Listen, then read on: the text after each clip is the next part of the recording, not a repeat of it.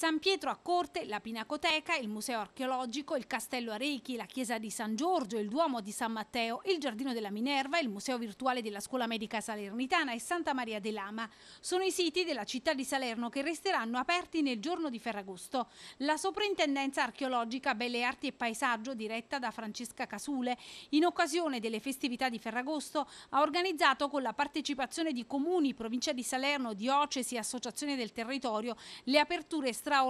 di musei e aree archeologiche a Salerno ed Avellino. Stamani, nel corso di una conferenza stampa, la presentazione di tutti i dettagli dell'iniziativa, alla presenza dei funzionari della soprintendenza Michele Faiella e Rosanna Romano. Musei ed aree archeologiche tutti aperti gratuitamente, ai quali vanno ad aggiungersi diversi siti della provincia di Salerno. A Raito di Vietri sul Mare il Museo della Ceramica di Villa Guariglia, a Nocera Superiore il Museo di Villa del Ruggero, a Minori la Villa Romana, a Laviano il Castello, a Valva il Parco di Villa d'Aiala ed ancora a Padula la Certosa e il Museo della Lucania Occidentale, mentre a Mirabella e Clano di Avellino il Parco Archeologico Eclanum e sempre nell'Irpinia ad Avella l'Anfiteatro Romano.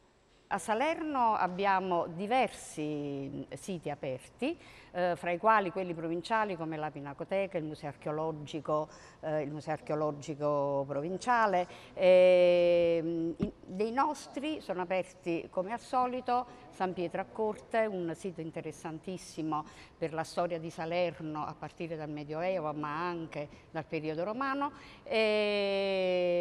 la Scuola Medica Salernitana eh, che chiaramente è aperta grazie alla collaborazione della Fondazione Scuola Medica che ha l'apertura almeno fino alle 2. Il nostro invece San Pietro a Corte è aperto dalle 9 alle 19 con orario continuato e così anche gli altri siti eh, del comune e della, e della, provincia. Si ha l'occasione eh, di visitare anche in costiera la Villa Romana ehm, alla Villa Romana di Minori, in, eh, in, provincia di Avellino è aperto il sito archeologico di Avella, in, ehm, in provincia eh, Laviano è aperto il castello, Insomma, diciamo che è a, tutto campo l'apertura, quindi chi si trova in questi luoghi anche solo per una passeggiata nella provincia di Avellino, nei, nei paesi, eh, oppure nella provincia di Salerno, anche solo per una passeggiata di trekking, ha la possibilità di fermarsi anche